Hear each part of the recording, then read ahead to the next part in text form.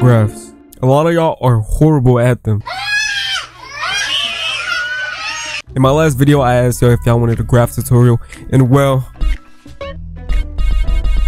so in this video, I'm going to be teaching you about graphs and how to use them in like an easy way to understand. But before we do that, let's go get a drink because I'm hella thirsty.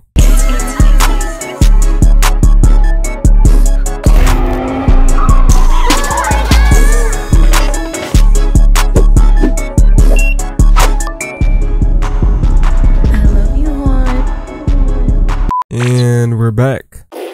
Okay, so graphs.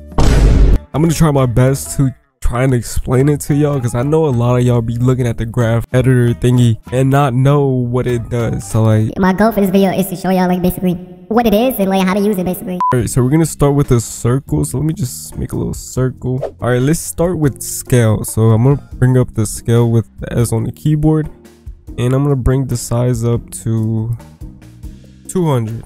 So this is basically what it looks like with no graph at all. So to get to the graph editor, you have to highlight the keyframes. Now you can press one and then press shift and then select the other one, or you can highlight both of them like this, or you can just select the scale button right here and it's gonna automatically select them. Once they're selected, um, if you go to the graph editor right here, you're gonna see that you can't really change it. So you actually have to easy ease them first. How do you do that? So basically, once you highlight them, right click, I mean left click, wait, right, left, uh. oh. Oh, bro. Yo, I completely forgot my right. Okay, I've never had this issue before in my life. Hold on. Stop the cap. Right.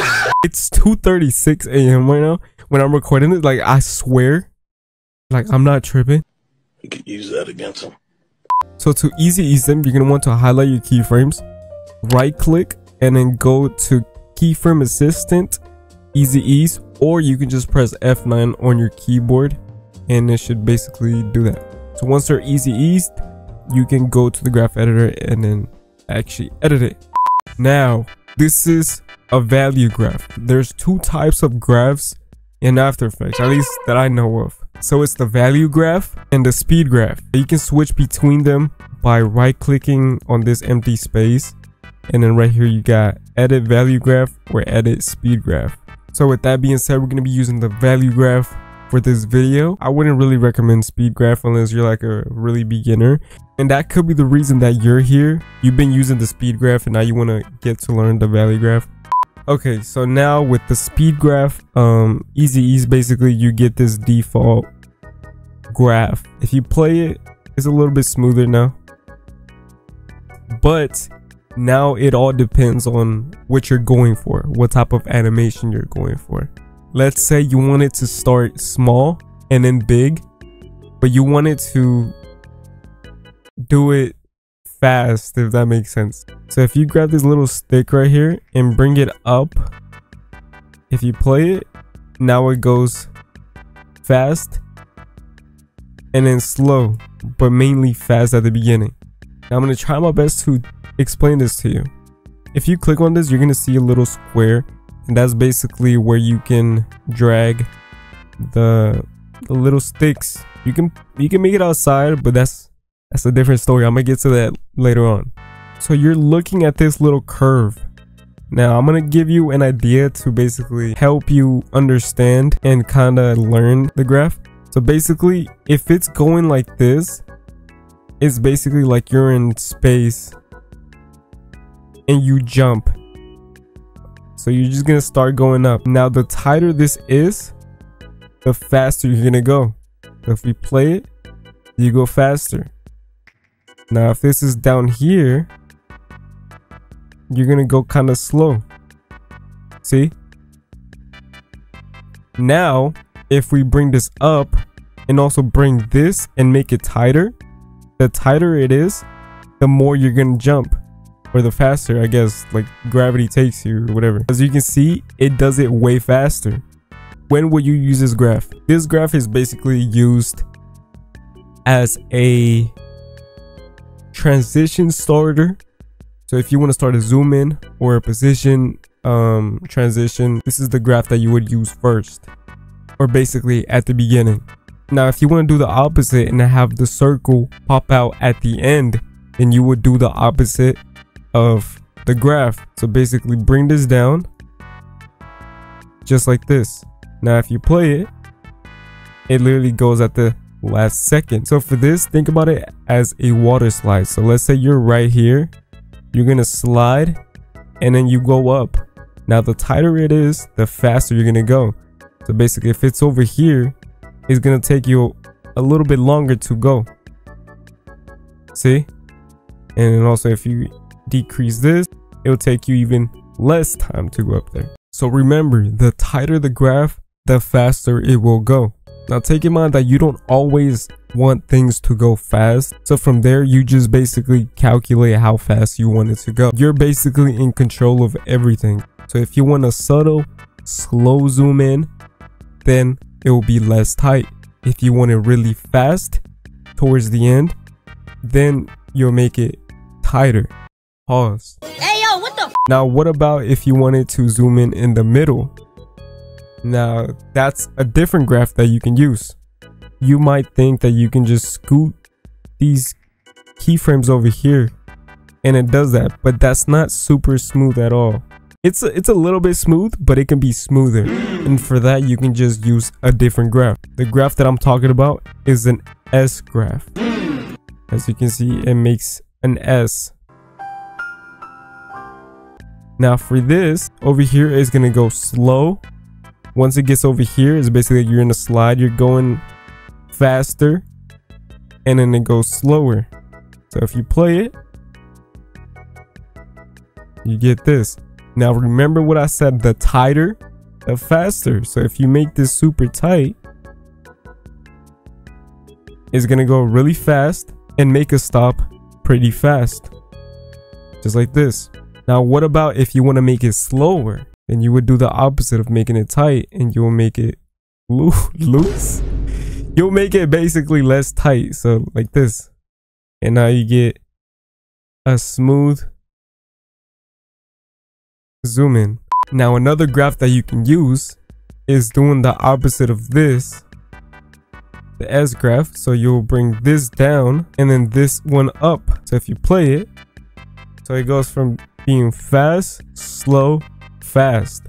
This graph in specific is used for many things, but one of the things is velocity edits. You know how editors be making it fast and in the middle slow and then fast? This is basically the graph that they use, but a little bit adjusted. So they'll bring this down over here and bring this like this at a angle. So it's basically a little bit smoother. I don't know how to explain it, but it is a little bit smoother that way than rather just having it straight up like this. Let me know if you want velocity tutorial. Now remember that I told y'all that this is the square where you want to keep things in, but you can also get out. So let's say I increase this and I take it out. You see this little extra little thing going outside the box? If you play it, it'll basically go up. You can't really tell, but let me see. Let's try to do the opposite thing because if you bring this down, you see this little extra thing? It goes the opposite way. So instead of scaling up, it scales down a little bit right here. And then once it goes back in, it scales up. So if you decrease this and increase this even more, you'll see that it goes the opposite way. Okay, so we covered scale. Now let's cover position. Now this is a little bit different and you'll see what I'm talking about. So I'm gonna put this little circle over here. I'm gonna create a keyframe, then go a little bit forward, and then put it on the other side over here. So if we try and easy ease this, so highlight all of them, keyframe assistant, easy ease, go to graph, you'll see that you can't control them, even though you easy ease them. Now I'm not sure why they did this. Um, actually, I, I do know why so basically position has three um positions. So it can be X, Y, and Z. And I think Z is only for 3D. But basically, you can't move them right now. So you can actually do this little hack. I don't know if people know about this, but um I know about this. So if you go to the position right here and you right click you can click on separate dimensions. Once you click on this, now you'll see that you get the X position and the Y position. You don't have the Z because it's not a 3D layer. If I turn it into a three layer, you'll see that you get Z position, but we're not talking about 3D right now. Now with this, um, the circle is moving to the side and that's X position or X or X axis. And going up and down, that's a Y position. So technically we won't be using Y position. As you can see, it's just flat because there's no actual movement on the Y position. I know it might seem a little bit difficult, you know, X, Y, Z. Just letting y'all know, you don't need to know math to know this. I know X, Y, and Z was taught in math, but just to let y'all know, I had a 7 in math class. I don't mean 7 like 1 through 10. I mean 7 like 1 through 100. Like, I, I literally had a 7 and I graduated high school. Somehow. Okay, so with that being said, we're not going to be using Y position. So just to get rid of this, let's just turn off the, the keyframe and go back to X position. Now you get the graph and basically you can do whatever you want with the graph. Like I said, you can bring this up and then you can do this and now you got this which I told y'all the tighter it is the faster it's gonna go the looser it is the slower it's gonna go you see and then if you do the opposite you can bring it over here and bring this over here and they'll go to the right really fast you can make the S graph and you'll get this you can make it less tight and they'll be slower.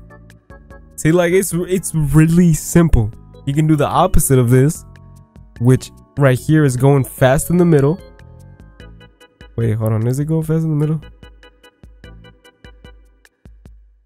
Yeah, it's going fast in the middle and then slow on the edges. You can do the opposite by bringing this down and bringing this one up. So now it does the opposite. So it goes slow in the middle. And that's basically the graphs that you're gonna need the most. You're, you're, there's more possibilities when it comes to graphs, but as in edits and normal motion graphics, you don't really need that complicated of graphs.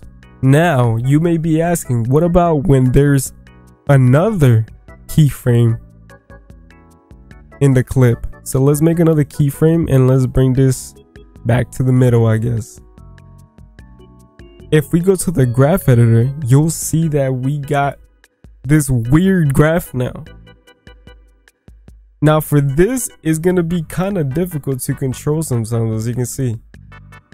So honestly, you can try and mess with this. You can actually get some pretty good um, animations, but I wouldn't recommend it.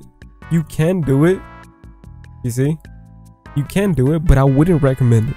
Now, what I would recommend is stacking your keyframes with a null. Now in my last video I talked about getting smooth animations and movements and if you want a more in-depth video about what I'm talking about go watch that video because I already explained it over there. But yeah, with that being said, I hope you guys um understood graphs a little bit more. Let me know in the comments if I actually did a good job explaining this. Um, yeah, like and subscribe. We're we're almost at 100k. Did y'all like that little intro, uh, filming stuff that I did?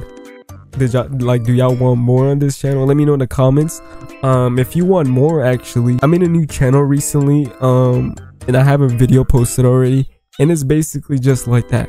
So if you're looking for more content like that definitely go check out the new channel. But yeah i'll see you guys in the next video. Stay safe. Deuces